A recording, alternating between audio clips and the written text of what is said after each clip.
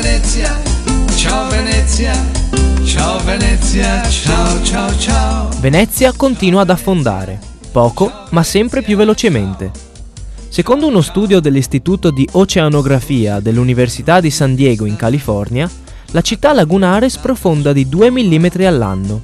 Le cause del fenomeno sono l'eustatismo, cioè l'innalzamento del livello del mare, e la subsidenza, cioè l'abbassamento del suolo. È proprio quest'ultima che sembra essere cresciuta nell'ultimo decennio.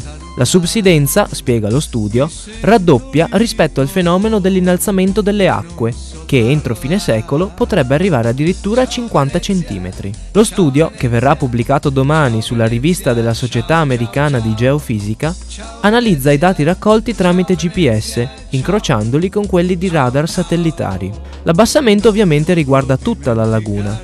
La parte settentrionale va giù ad un ritmo di 2-3 mm all'anno, mentre la zona sud di 3-4 mm. Il cedimento però non è l'unica novità.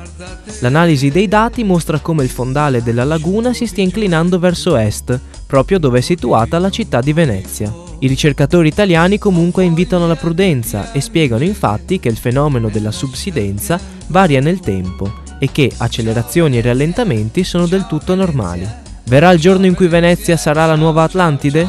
Speriamo di no. Ciao Venezia, ciao Venezia, ciao.